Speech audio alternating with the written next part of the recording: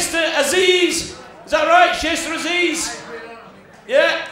There we go. Round of applause.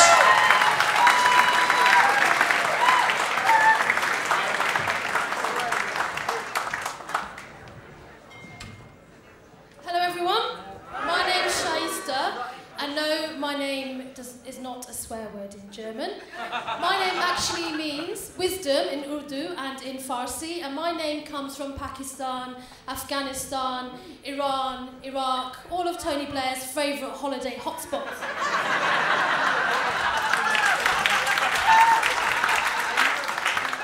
Now sometimes I wish my mum and dad had just called me militant and had done with it. Now, I was born in Oxford, but my roots are in Pakistan. But don't panic, I'm Islamic. I'm here to put the fun back into fundamental and the joy into jihad.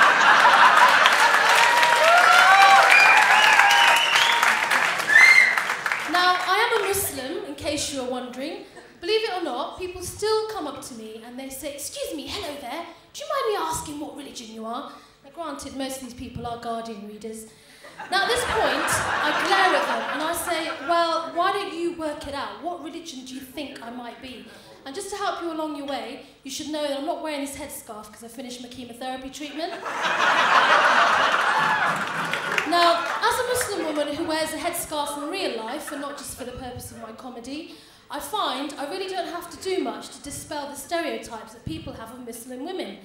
You know, often when I'm speaking, I see that people's jaws are scraping along the ground as I'm talking.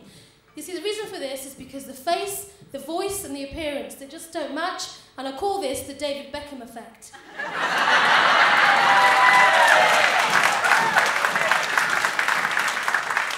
Now, since September 11th, people come up to me and they say, mate, what's it like being a Muslim? I say it's a bit like being a Manchester United fan in Liverpool.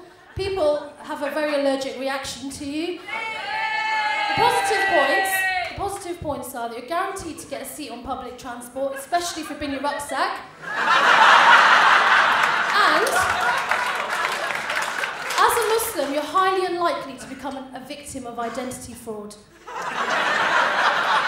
Now, I got married a couple of years ago. I got married a couple of years ago to a wonderful Iraqi man. We met in Watford, logically, and we got married in a backpackers hostel in Jordan. That's Jordan in the Middle East and not the plastic fantastic celebrity Katie Price. Mind you, there's probably more room in Katie Price.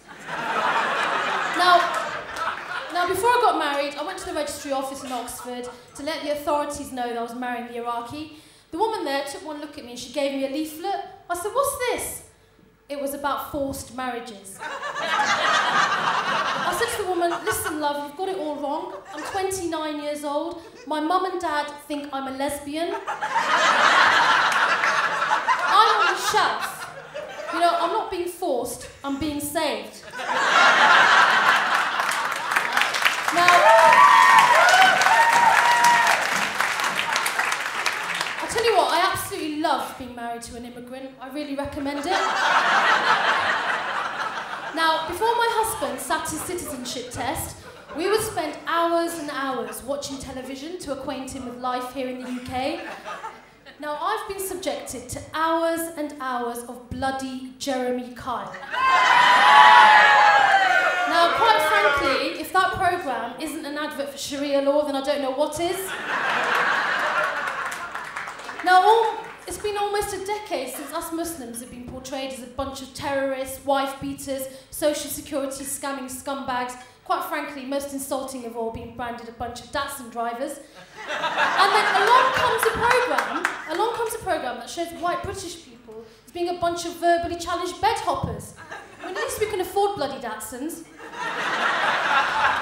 now, a bit like Jay Z, we Muslims have got 99 problems, but a paternity test ain't one of them.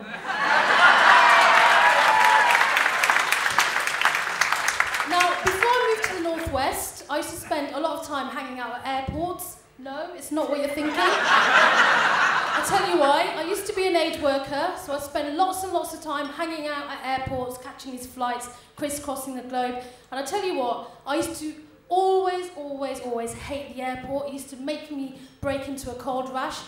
The reason for that is because all Muslims all people who look like me, we're made to feel like America's most wanted when we go to the airport. All the random security checks, the body scanners, all the rest of it. Anyway, I adopted a mantra to help me get through this ordeal, and that was act white and get on the flight. now, quite frankly, if I was a terrorist, I've come in a pretty crap disguise. You know, I need to work a little bit harder on the disguise. You know, maybe show the top of my toe. You know, maybe shake an ankle. Now, as we all know, there's an election coming up in our fair country in a couple of days. And, you know, I'm going to vote. People are sick to the back teeth of the elections. I'm politicians. But anyway, I'm going to vote. The only thing is, I'm trying to work out who I'm going to vote for. So last week, I decided to hang out at the local BNP meeting in Preston. now, as you all know, the BNP now let folk like me join them, which is really kind of them. Anyway, I won't lie to you, I decided to have a bit of fun. I got to the meeting, but before I left, went to the meeting, I decided to dress up in a burqa, head to toe in black, face veil, full works, and just to jazz things up a little bit more, I decided to strap a wall clock to my torso.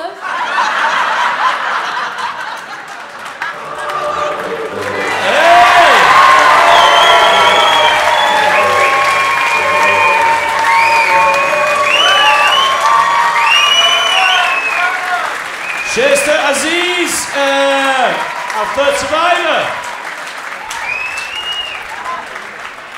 She was talking, you were talking about, the, which is true, the BNP, the, the policies now, they've got to accept uh, any ethnic minority in, and I think everybody's missing the trick. They should all join it because then you become the majority, then you can change party policy. Then it stops being the fucking BNP. Uh,